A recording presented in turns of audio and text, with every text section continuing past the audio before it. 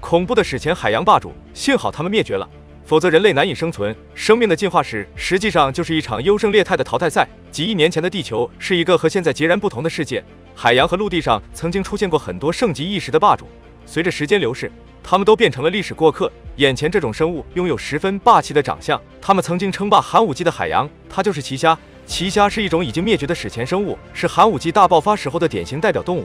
这种虾的眼睛像乒乓球一样大，复杂的视觉系统能够让奇虾更好的狩猎。嘴巴看起来像一对大钳子，上面分布着很多环状排列的外齿，超过二十五厘米的巨口能够吞噬当时海洋中任何大型生物。要知道，当时其他生物的体长普遍在几毫米，甚至是几厘米，但是奇虾的身躯达到了两米，即使有矿化外甲保护的动物，依然无法和奇虾正面抗衡。除此之外，奇虾还能够结网捕食。科学家曾经在奇虾粪便化石中发现了一些小型甲壳类动物的尸体。奇虾还是一个不折不扣的大胃王。科学家还在奇虾粪便中发现了三叶虫化石，因此奇虾还有另外一个名字——恐虾。也正是由于凶神恶煞的外表、强悍的战斗力，奇虾成了五点三亿年前海洋中最凶猛的捕食者。那么问题来了，奇虾在当时拥有绝对的霸主地位，他们在古代海洋中根本没有天敌，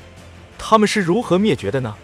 科学家曾经在早泥盆纪中发现了奇虾的化石，因此推断奇虾的灭绝时间不会早于四亿年。因此，奇虾有可能是因为环境变化无法适应环境而灭亡的，也有可能是后来海洋中出现了更加厉害的生物。因此，奇虾的真实灭亡原因就成了一个谜团。然而，万事有利必有弊，也正是由于奇虾、恐龙等凶猛生物的灭绝，人类的进化之路才能变得畅通无阻。如果这些猛兽始终伴随着人类，人类的生存将面临重重险阻。